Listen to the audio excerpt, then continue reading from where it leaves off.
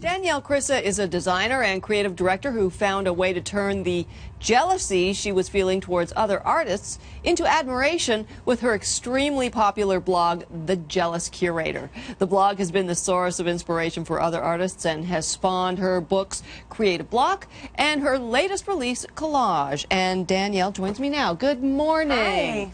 So let's talk about that for a second. Um, how The Jealous Curator came to be and why it's called that. Well, um, I went to art school.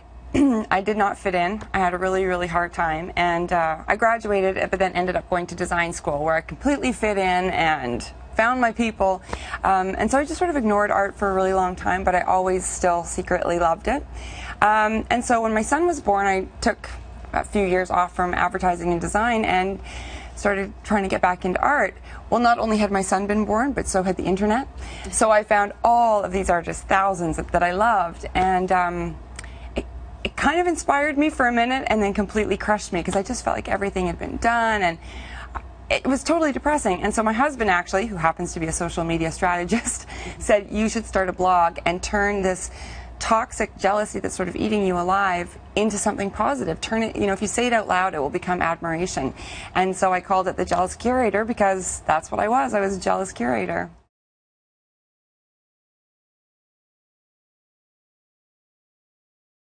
If you get blocked, if you have an inner critic, it just means you're part of a very cool creative club. A human club. Uh, yeah, and you know you cannot have a creative block if you're not creative. So I've started thinking of these negative things as almost scout badges that you can earn. You know, so you kind of get your um, my inner critic is a jerk badge, put it on, wear it with pride. You know. Um, burned by a critic badge, put it on. Because all of these amazing, working, successful artists all are wearing that badge too. There's no shame in it. You shouldn't hide it away. Um, put on the badge and own it. And then once you've owned it, play and experiment and make. Don't stop yourself. After that critique with that prof, I stopped for years and years. And that was my fault. He didn't stop me, I stopped me. And so I now proudly wear that badge and I make and I make and I make.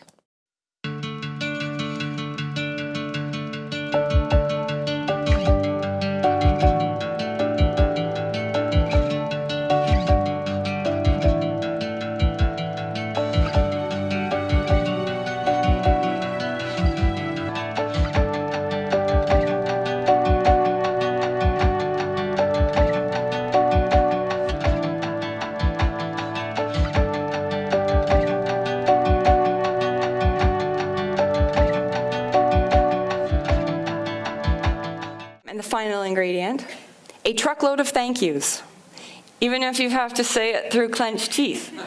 So when someone says your work is great, take a deep breath and smile and say thank you instead of giving them a giant list of reasons why they're wrong.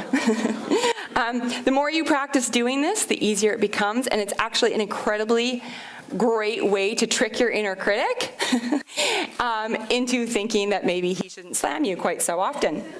Um, and finally, when someone says, Oh, you're so humble, don't blush and wave your hands around like this. Just take a deep breath, smile, and say thank you. Thank you.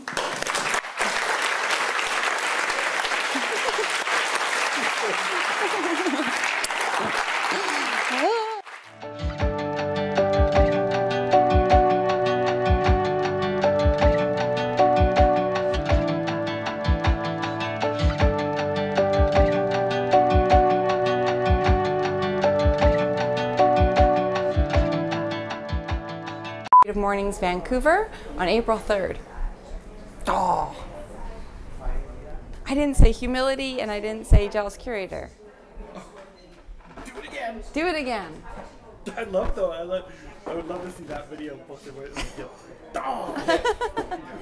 Hashtag humility. exactly, exactly. There we go. Good, let's do that. Yeah. I, that wouldn't bother me at all, actually. But then go, oh. Come on.